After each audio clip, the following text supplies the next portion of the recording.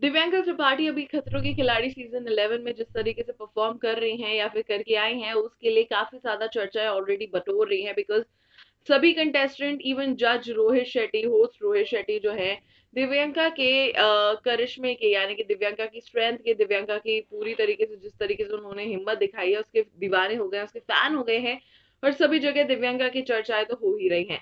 लेकिन इसी बीच जब पूछा गया दिव्यांका से कि क्या वो बिग बॉस में लेंगी हिस्सा तो उन्होंने क्या कहा है? चलिए जान लेते हैं इस वीडियो के अंदर। Hello this is Lisa Gangani दरअसल बिग बॉस को लेकर जो है, जब भी नाम सेलेक्ट किए जाते हैं कंटेस्टेंट्स के तो बहुत बस क्रिएट हो जाता है कि कौन सा कंटेस्टेंट बिग बॉस में आएगा, कौन सा कंटेस्टेंट नहीं आएगा, कौन आना चाहता है, कौन नहीं आना चाहता है, क्या कॉन्सेप्ट होने वाला है किस किस को अप्रोच किया जा रहा है। तो ऐसे में दिव्यांका त्रिपाठी के पास भी पहुँचा है बिग बॉस का ऑफ़र पर। उन्होंने इस ऑफ़र को नहीं किया है एक्सेप्ट और शायद वो नहीं भी करे बिकॉज़ शी फील्स कि खतरों के खिलाड़ी में फिर भी फ़िज़िकल फोबिया थे लेकिन उनको एक जो है अलग वाला फोबिया है that is living behind a family and her husband वो अपने हस्बैंड और अपनी फैमिली से इतना दूर रह ही नहीं सकती सो so, अगर ऐसा ऑप्शन आता है कि उन्हें बिग बॉस चूज़ करना पड़े और अपने हस्बैंड और फैमिली से बहुत लंबे समय के लिए दूर रहना पड़े तो पॉसिबली वो नहीं कर पाएँगी।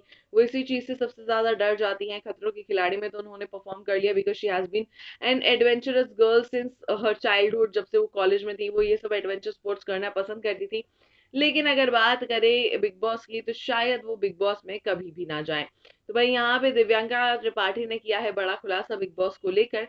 लिख दीजिए आप लोग अपनी राय कमेंट सेक्शन में कि आपको क्या लगता है दिव्यांका की इस बात के बारे में।